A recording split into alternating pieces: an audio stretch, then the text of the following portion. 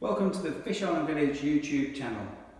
This video series gives you an overview of the key features in your new home. Of course there's more detailed information in your handover pack and any relevant operation manuals. This particular video relates to the Slimline dishwasher. So there's a few key features I'm going to show you first. Um, turning the dishwasher on is the first thing and running through the cycles. I'll then show you the operation of it working. You should be able to hear that on the video. I'll then open it, turn the program off and go through more maintenance regime. So turning the dishwasher to the on position.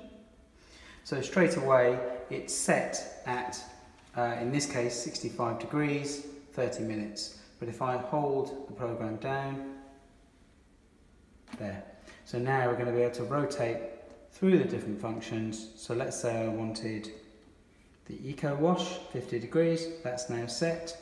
Obviously I'd have to put some powder in, which I'll discuss when I open it, and then shut. So you should be able to hear that starting. There. So that started in its cycle, and obviously prior to handover, as you can see there's water on the dishwasher, we've run everything through a cycle. Um, so that's why there's water kind of in the machine already. So I'm going to turn that to the off position now. Um, so to go through where the rinse aid and the powder goes in first, um, if you click this button up, and then this button. So the rinse aid goes in, in this side, and when you start to see the rinse aid getting towards the maximum level here, you then purely just close the lid, and that probably lasts anywhere between 10 to 20 washes, and it will illuminate a button on the top to say that rinse aid is low. The other one is basically the dishwasher tablet. Once you've unwrapped it, some tablets don't need unwrapping, but the majority do. Place in there, shut. It'll automatically unlock during the wash cycle. So, let's start on the top shelf. Come out. The way to open the, um, the holders, this is for the um, pans and, uh, and uh, plates, is just to lift up and fold in. Just gives you a great variety and kind of flexibility um, for the use in the top shelf. So I can close that off now. Coming on the bottom. So you've got the, obviously this is a new machine, so I haven't released the cutlery tray, but this one here is for the filling of the salt. So what I'm gonna do is I'm gonna remove this tray and put it on the floor so I can get inside the machine.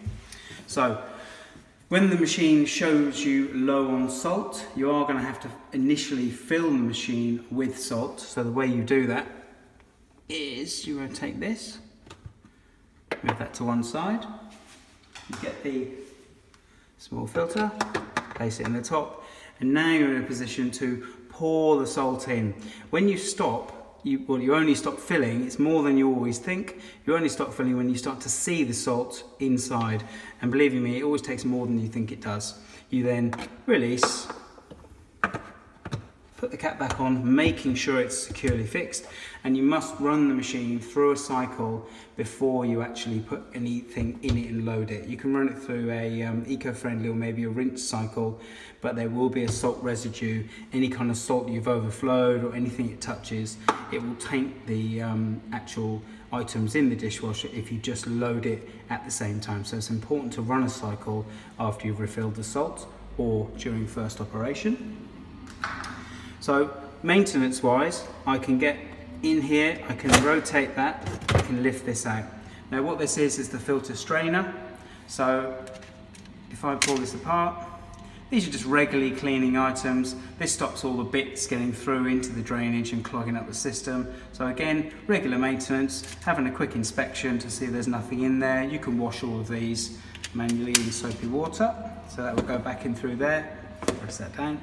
You can remove the, again, any inspection, any kind of minor cleaning, and then if you want to, you can actually remove this section as well, giving you access to any bits that might have got stuck in there.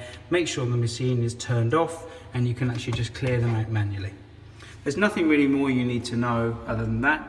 So if I can do everything in the reverse operation, pop that back in, that spins, and put this back through into the cycle and lock. So the two orange triangles all they have to do is meet together and it's in lock position. So that is the basis, um, basics of the dishwasher. Uh, I'll just quickly close the dishwasher there. Okay, and I hope that video was of use and thanks. See you on the next one.